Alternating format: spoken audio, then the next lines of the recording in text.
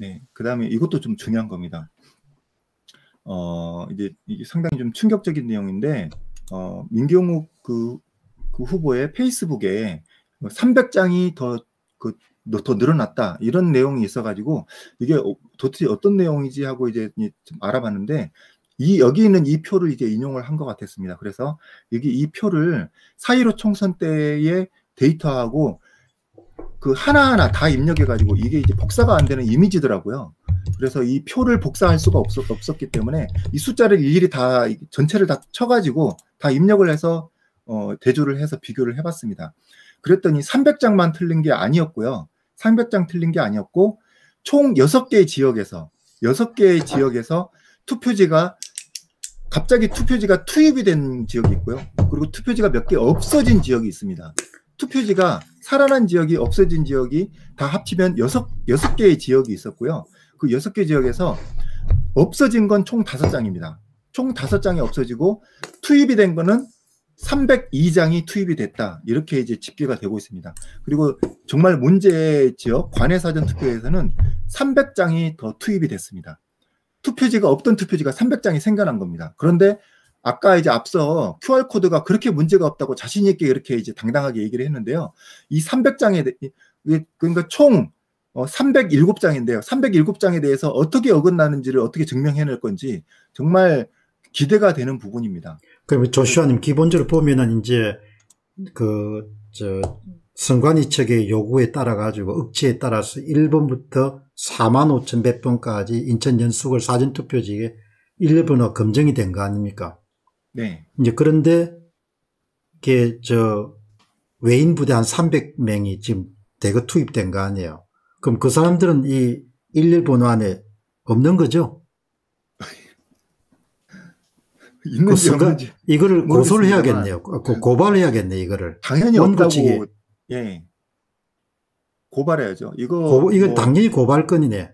뭐 네. 근데 제 생각에는 이게 만약에 300장만 찾았다라고 했으면은 아 이거는 이 4,400인데 4,700으로 오류가 있었다. 이제 문서 그러면 오류 수정을 하겠다. 이런 식으로 얼렁뚱땅 넘어가했을 수도 있을 것 같습니다. 근데 이거를 어, 일일이 그 체크해 본 게 정말 천만 다행이었는데 이게 한두 군데가 아닙니다. 여섯 군데입니다. 그러니까 이게 다 이제 그 문서 작성상의 오류다라고는 절대 얘기를 못 할 겁니다. 이거 다 다시 그러니까 재검증을 다시 하는 재재검증을 해야 되지 않을까 이런 생각이 듭니다. 잠깐 한번 볼까요?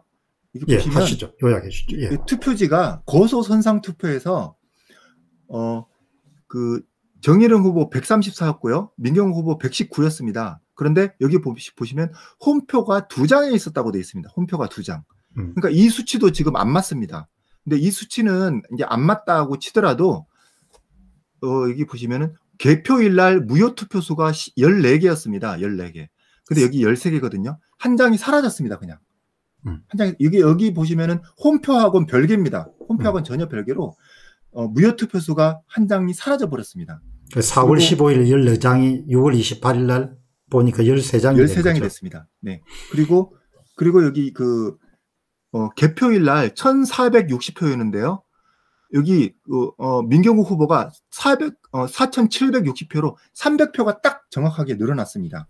음. 어, 민경욱 그, 그 후보는 어, 300장이 실수로 100장짜리 뭉치 3개가 실수로 들어갔다 이렇게 추정을 하고 있는데요.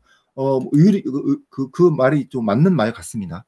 음. 그리고 국외 부재자 투표 공관 이렇게 돼 있는데요. 이것은 어 정일용 후보가 오히려 또 한 표가 줄어들었습니다. 정일용 후보가 4표였거든요. 3표로 줄어들었습니다. 그리고 어, 또 보시면 여기 보시면은 어, 무효표가 무효표가 무려 300표 가까이 나온 것이 있는데요. 여기는 어, 일, 일장기 투표지가 20, 294표를 포함을 해서 엄청나게 무더기로 그 무효 투표지가 나왔습니다. 근데 그러니까 조션 이것도 저, 네. 저기에 거의 천장 정도 넘었다고 하지 않습니까? 그 중에 어. 이제 무효표로 처리한 게 290넉 장이잖아요.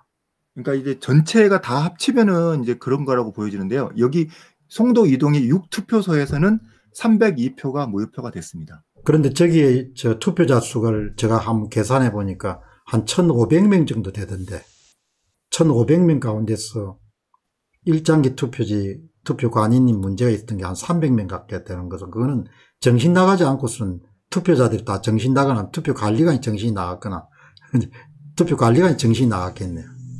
예, 근데 이 부분은 어, 일단은 이건 인쇄 오류라고 봐야 되는 거고요. 투표지가 새로 들어왔거나 나간 건 아닙니다. 지금 투표지가 새로 새로 들어왔거나 나간 것에 대해서만 일단 체크를 하도록 하겠습니다. 이건 이제 오케이. 특이사항으로 써놓은 거고요. 음. 무효표가 왜 이렇게 많냐라는 부분에서 특이사항으로 써놓은 거고 투표지가 어, 새로 생기거나 사라지거나 하는 부분에 대해서는 이- 여기 한 두 개 더 보면 됩니다. 송도 3동의 6투표소에서는 개표일 날 정일영 투표 그 정일영 후보가 538표였는데요. 536표로 바뀌었습니다. 다른 숫자는 다 변함이 없고 딱 이것만 바뀌어버린 겁니다. 그러니까 두, 두 장이 사라져버린 겁니다. 그리고 송도 사동에 송도 사동의 제5투표소에서는 여기서 또 특이하게 주종국 후보입니다. 표 몇 장 있지도 않거든요. 표 몇 장 있지도 않은데 주종국 후보가 다섯 표에서 한 표가 줄어들었습니다. 자 그러면은 여기서 만약에 이, 이 투표지가 뭐 이거 도장이 이상하게 좀 찍혀 있어가지고 이거는 아 유효하로 파악하기가 어렵다. 그럼 무효표로 바뀌었다. 그래서 숫자가 줄은 거다라고 생각하실 수도 있을 겁니다. 여기 유효표가 무효표가 됐는 데는 분명히 표시가 되게 돼 있습니다. 그러니까 4.15의 그 개표 데이터하고는 다른 것이 상당히 많은데 여기도 다르고요. 여기도 다르고요. 여기도 다릅니다. 하지만 여기는 다르다는 것이 유효표가 무효표가 됐다. 혹은 무효표가 유효표가 됐다는 것이 체크가 되어 있기 때문에 수치가 달라도 제가 이거 빨간색으로 표시를 안 한 겁니다.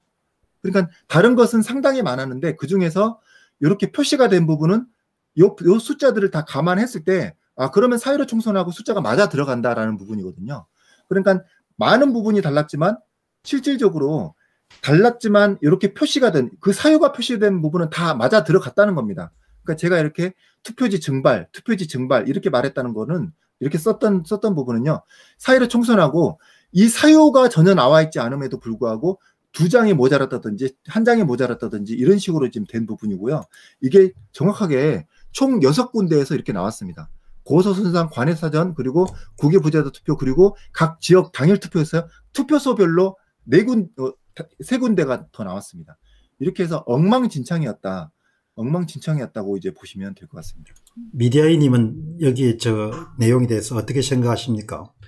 어, 둘, 둘 가지, 둘 중에 하나인데요. 어, 이게 그, 이 법정에 정인이 나왔는데 거짓말을 했거나 아니면 어, 정인이 어, 진술할 내용을 어, 판사가 제대로 못 받아 적었거나 둘 중에 하나라고 생각합니다. 어, 이게 둘 다일 수도 있고요, 또, 실제로. 어, 여기, 어, 인쇄된 투표지가 거짓말하고 있는 거죠. 예, 투표지가 와, 나왔지만, 원래 이제 이 정인이 나왔지만, 실제로 이 개표 결과하고도 전혀 맞질 않는 거죠. 맞질 않는, 어, 애시당초 맞을 수가 없는 거죠. 인쇄된 투표지.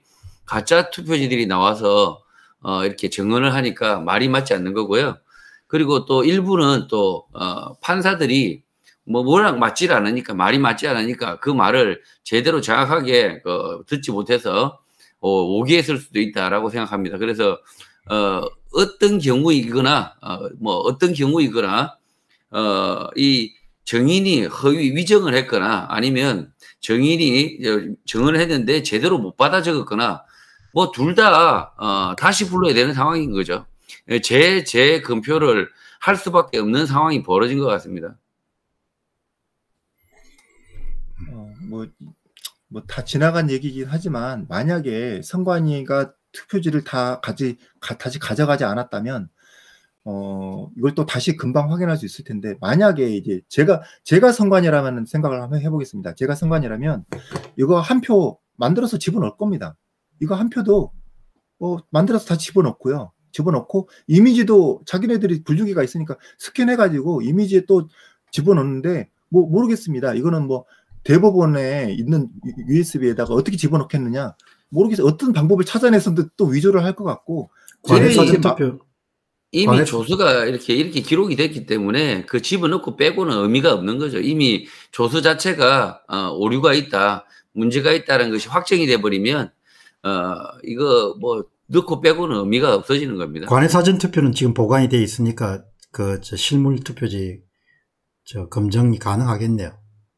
예, 근데 이게 만약에 한다면 나머지의 어, 이 전체 여섯 여섯 개 지역을 다 해야 될 겁니다. 왜냐하면 300장이 이제 그 추, 추가로 생겼다라는 것 때문에 한 장은 별게 아닌 거다 이렇게 생각하실 수가 있는데 뭐 어제도 뭐 미디어님 얘기하셨지만 한 장이 생겼다 한 장이 없어졌다 이, 이 부분이 이것 자체가 대량으로 위조를 하다가 하나가 실수가 된 것으로 이제 볼 수 있기 때문에 이거 하나가 이제 쉽게 쉽게. 넘어갈 문제가 아닙니다. 그렇기 때문에 이거 아이 관에 그에서 300장 나왔으니까 아 요것만 체크하면 되겠다. 다른 거는 이제 별거 아니네라고 할 문제는 절대 아니다. 이걸 이제 말씀드립니다. 지금 이 검정 조서가 그 선거가 무, 문제가 없다라는 어, 것을 드러내는 사실을 증명하는 문서가 아니고요. 어, 이것은 오히려 어, 이번 그4.15 총선이 문제가 있다, 선거가 무효다라는 사실을 입증하는 조서가 됐기 때문에 어, 저희로서는 이것을 어, 어, 일단 확정된 사실, 그러니까 검정 조서는 일단 어, 이 선거가 문- 문제가 있다라는 그 이 사실을 확정하는 조서다. 그래서 이, 이 검정 조서에 대해서는 어, 뭐 받아들여야 되는 거죠. 예. 잘못된 문서라는 것을 받아들여야 우리가 지금 이렇게 다시 재판을 이어갈 수 있기 때문에 어, 오히려 조서가 나온 것에 대해서는 이렇게 이렇게 나온 것에 대해서는 저는 뭐 비난을 하지만 아, 그러나 어, 잘 된 거 아니냐 이렇게 해서 그두 가지 아, 해석이 가능한 네. 하겠습니까? 뭐. 예 예 재검표를 재개표로 한 끝에 뭐, 저 의도치 않은 그런 배춧잎이란 일장기에 나왔던 것과 마찬가지로 예. 조재현 대법관 내에 3인의 대법관이 최선의 노력을 경주해서 선거관리위원회를 비호하는 대법원 검정조서를 작성했음을 불구하고 그 검정조서를 보니까 그야말로 범죄 사실이 그렇게 노력해서 보호해 주려고 했음에도 불구하고 그래도. 그게 지금 문제가 나온 거 아닙니까? 네, 맞습니다. 예. 그렇게 이해를 해야죠. 예.